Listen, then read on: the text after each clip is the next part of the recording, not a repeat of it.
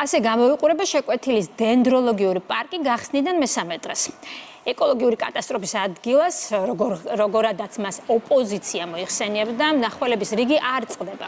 დენდროლოგიურ პარკში შესაძლებელია ნახოთ ქვეყნის სხვადასხვა კუთხიდან გადმორგული 29 უნიკალური სახეობის 200-ზე მეტი გიგანტური ხის და მსოფლიოს ხუთივე კონტინენტიდან წლების განმავლობაში შემოტანილი სხვადასხვა ეგზოტიკური სახეობის ათასობით ხემცენარი.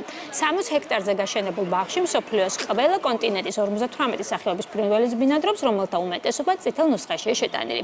მათ შორის ეს ავარდისფერი ფლამინგოები დენდროლოგიური პარკის დათვალიერება მსურველებს უფასოდ შეუძლიათ. დენდროლოგიური პარკი ბიძინა ივანიშვილის საქველმოქმედო პროექტია.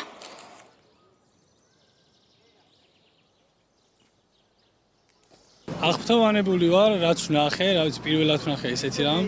შეუძლებელი შეძლო ალბათ ამ ადამიანმა, ვინც ეს გააკეთა და დარჩება ჩვენს თაობებს და ვინც გაიზდება და ნახავს იქნება არაჩვეულებრივი რაც გაკეთდა და მე ყმაყოფილი ვარ. საოცარი შთაბეჭდილებებით ვართ მთელი ოჯახი ბავშვებიც უკვე მეორედ მოვედით 15-შიც ვიყავით გახსნის დღეს.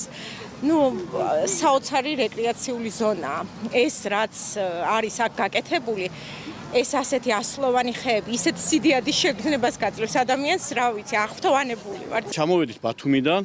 მინდა გითხრა ძალიან მოხიბლული ვარ დავათვალიერეთ რამდენიმე საათი გახდით და ძალიან მინდა გითხრათ რომ ბოლო პერიოდის განმავლობაში საქართველოსში განსაკუთრებით მსგავსი დენდროლოგიური პარკი და მსგავსი ხალხი დაინტერესება ხალხმრავლობა მე დიდი ხანია არ მინახავს. ძალიან ლამაზი იყო ეს რაც ვნახე ძალიან მომეწონა და მithumetes მომეწონა კოდალები და ლემურები